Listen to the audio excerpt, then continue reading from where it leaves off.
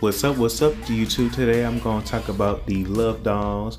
These are the makers by Glow Girl Dolls, which these, in my opinion, looks a little bit more better compared to the Glow Up Dolls. I think that's how you pronounce Glow Girl Dolls, especially with their proportions at first, when I did saw their promotion pictures while back, I wasn't really into them at first, especially the one that looks like Sasha. But since I saw them in stores, they actually look not bad at all. I love their fashion.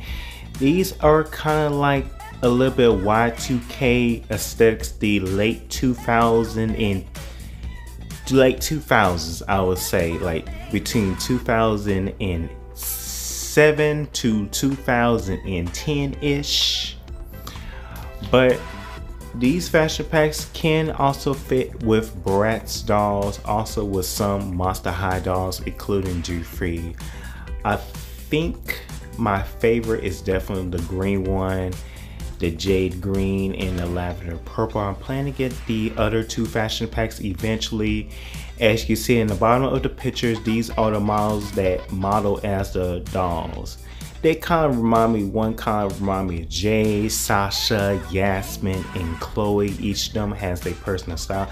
And eventually, I'm actually more connected to them. I love the aesthetics. I know some people say it's out, it's outdated, which it is, but I still like the aesthetics. I'm gonna go with Characters 101 and this is Londynn. Yes, this is my favorite one. I'm planning to get her eventually when she, when she goes on sale.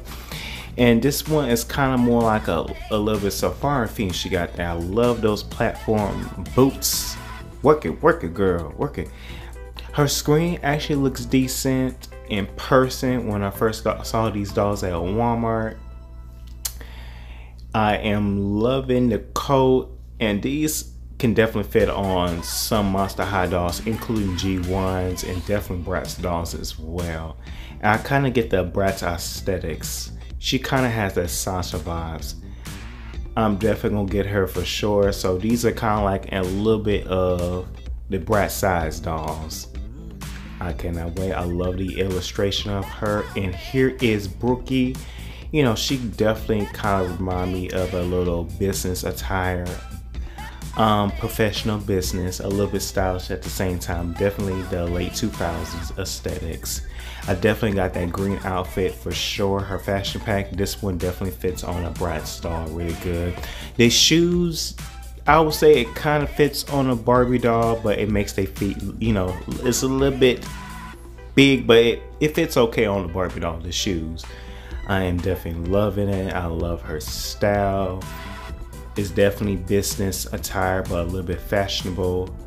Definitely has that Disney aesthetics, you know, some people did mention on a previous videos. And this one kind of reminds me of definitely a Disney doll, but this is a little bit of gimmick Yasmin doll. But I'm planning to get her too. She's definitely my second favorite. I actually love the color tones. Blue is definitely my favorite color. I think this is more like forgot what color scheme this is, but I definitely got that dress.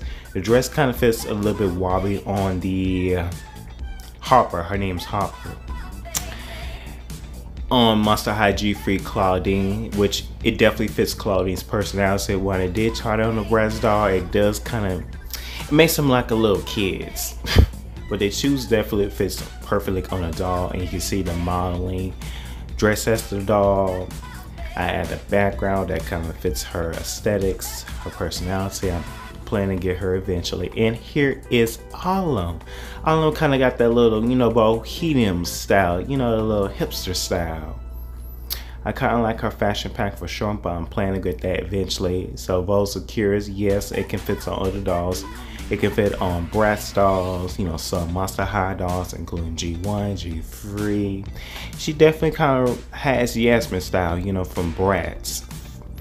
Um, from the first edition, because you know the Yasmin doll, she did have that bohemian bohemian style which you know is kind of outdated but i'm guessing that's why i'm kind of connected. I know some people might not like their fashions because it's very date outdated but hey here's a close-up when i was at walmart Here's the back of the box. The back of the box is really decent, even though it is the price of Fairy Dolls. I mean, they got some box collectors. I feel like it should have came a little bit more accessories, especially for the Fairy Doll price range. But the fashion packs are really affordable as well. And here the dolls close up. I'm definitely gonna get the last twos for sure. Harper, Londynn, Brooke, and Autumn.